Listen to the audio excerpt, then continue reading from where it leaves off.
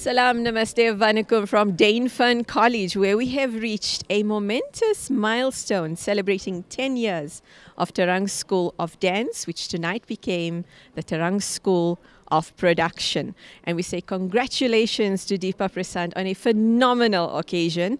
Behind us, we have the senior students of this academy.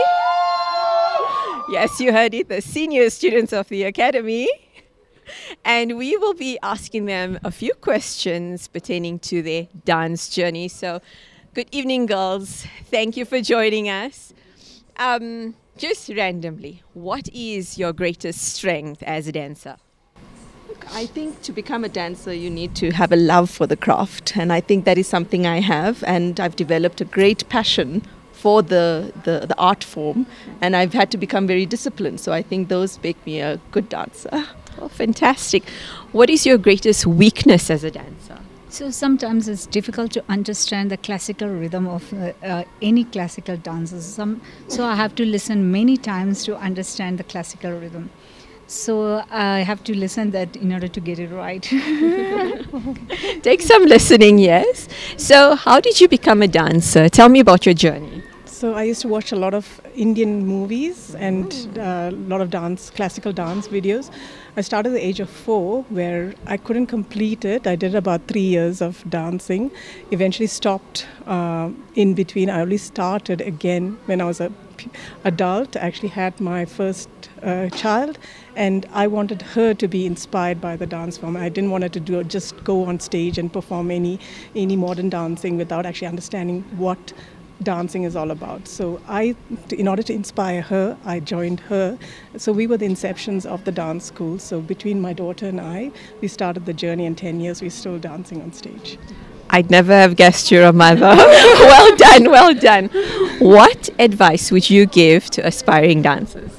Um, the advice I would give was you need to first have a passion for dance. This art form requires a lot of dedication, a lot of time, a lot of patience, um, and you need to be committed to um, the to the art to be able to um, excel in it. Definitely, commitment is very important. So, tell me about your favorite um, art form as a dancer. What is your favorite art form? Um, so, out of all the ones that I've learned, I think uh, Kuchipudi is one of my favorites. Although it is pretty tough, you know, balancing on the plate and having um, the pot on your head, I think it's such a beautiful form, dance form, and requires a lot of practice. But I think it's one of the most beautiful ones I've danced yet. I must say that dance performance was something else. So wonderful, wonderful. What dance styles can you perform? Um, so I can perform Bharatanatyam, uh, Kuchipudi, Mohiniyattam, as well as folk or semi-classical. Fantastic. And how many hours a day do you spend um, performing, or how many hours a week do you spend learning the art form of dance? Okay, is dance is like uh, yoga for me. So I'm trying to spend at least 15 minutes every day. So it's freshen up my mind. So is that where you find your quiet moment? Yes, yes. And tell me about your teamwork experience. So, with this performance specifically, we did a lot of different dances and then it's different teams, right? So, it was about anywhere between 10 to 15 people performing. And the way we all come together, it was just amazing learning experience also for me because we all different, come from different background. And then everyone takes a lead role in teaching us something.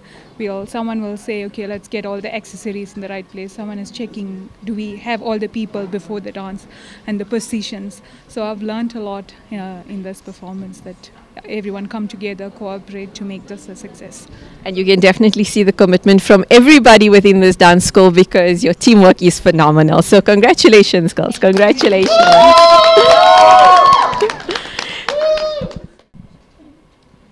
And the most important lady of today's momentous milestone, Deepa Prasan, congratulations on celebrating 10 years of Tarang School of Dance. So, what does Tarang mean? Tarang means waves. Okay, that means we can't, in waves, we can't see the end. So that means that is the meaning of the dance actually. Because the dance, we can't uh, see the end, you know. So so that's the reason I put the name Tarang. And uh, I learned uh, from India the Tarang dance school. My guru's uh, school name is also the Tarang. So I just want to follow same name. That is my Guru Dakshina for my guru. That's absolutely beautiful. So, okay, in keeping with the name and keeping with the spirit, why did you open a dance school? When I came to South Africa, actually I started, uh, mm, you know, I seen uh, there is no classical dance performance here. Okay. Uh, I came South Africa 2013. Then I uh, went to the one community program. So I saw it that uh, so many people, so many children, they are wearing that, uh, you know, classical dance dresses and Mohiniyattam, and, and they are actually uh, they want to do that classical dance, but there is no platform for, you know, the, the children want to learn it.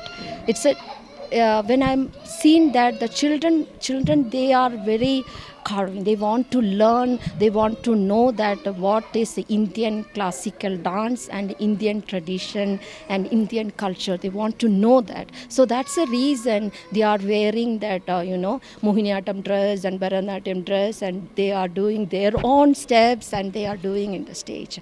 But after that community program i same community program i did one kuchipudi. So after that so many parents they are asking me to start the dance school. But i don't uh, you know i i'm not thinking that i want to start that uh, dance school. Because of that uh, parents uh, you know they are asking that we need uh, we, we need uh, send uh, children to learn the classical dance performance not for the bollywood.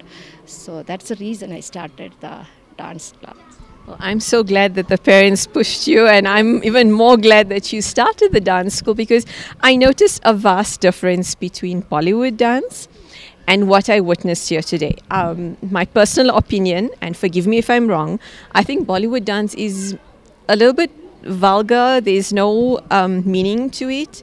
Sometimes it's um, not all that there, but I've noticed there's a lot of expression and steps that are in sync with classical dance. So, can you elaborate what is the difference between Bollywood dance and the classical dances that we've witnessed here today? It's uh, Bollywood dance is also very nice dance because you know the Bollywood dance is a mix of different kinds of dance.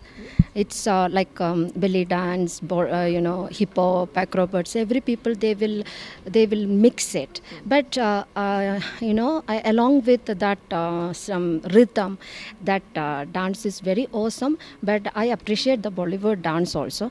But in the classical dance, the classical dance we have very good. Um, fundamental, you know, uh, like a very good uh, base.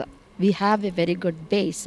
Once, uh, in my, um, for my experience, experience actually if you learn the classical dance that children that kids or can do the any other dance because they have very good fundamental um, basic uh, uh, syllabus so if they follow that they can copy any other dance bollywood also can copy it but i think I like Bollywood dance. Uh, I'm not uh, saying any comments for that. yeah, yeah. I've um, also heard you say, and I've also witnessed three different types of dance. So let me get this right. It's Bharatanatyam, yeah. it's Kuchipudi, yeah. and the last one, please. Okay, and what is the difference between the three?